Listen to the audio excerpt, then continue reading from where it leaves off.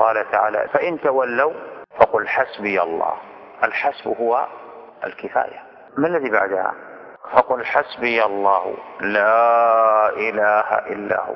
أليس هناك ارتباط بين هذه الكلمة والتي قبلها؟ فلا تفيدنا بفائدة أن الذي يتوكل عليه هو المألوه الحق. وليس هناك مألوه حق إلا الله عز وجل. وبالتالي فإن المعبودات الباطلة لا يعتمد ولا يتوكل عليها ولا على أحد من المخلوقين. ولذا قال تعالى لا إله إلا هو. لما؟ لأنه هو الإله الذي له الصفات العظام.